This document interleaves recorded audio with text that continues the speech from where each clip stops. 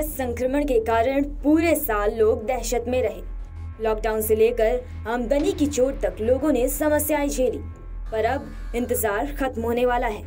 दिसंबर के अंतिम सप्ताह तक बिहार वासियों को भी कोरोना के वैक्सीन मिलने शुरू हो जाएँगे। मिली जानकारी के अनुसार, इसे लेकर बिहार स्वास्थ्य विभाग व सरकारी तंत्र ने पूरी तैयारी कर ली है।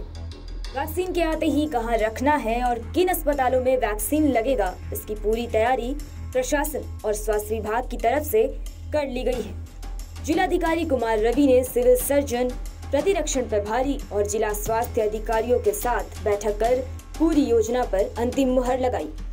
पूरे बिहार में जहाँ तिहत्तर सरकारी अस्पतालों की सूची बनाई गई है, पूरे बिहार में तिहत्तर सरकारी अस्पतालों की, जबकि 333 प्राइवेट अस्पतालों की सूची तैयार कर ली गई है। प्राथमिकता के तौर पर पहले कोरोना मरीजों के साथ फ्रंटलाइन वर्करों व कोरोना वॉरियर्स को वैक्सीन लगाया जाएगा।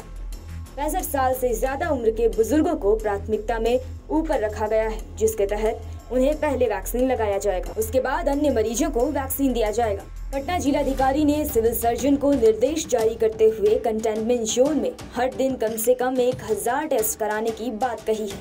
साथ ही जो भी व्यक्ति होम आइसोलेशन में है, उनके घर जाकर परिवार के लोगों की जानकारी इकट्ठा करने का भी निर्देश दिया गया है।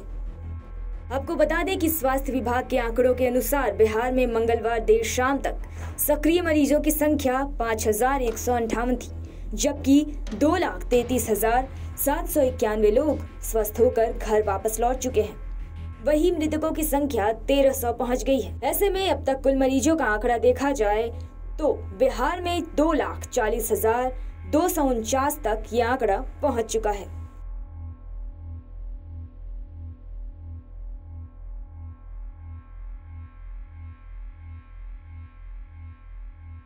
you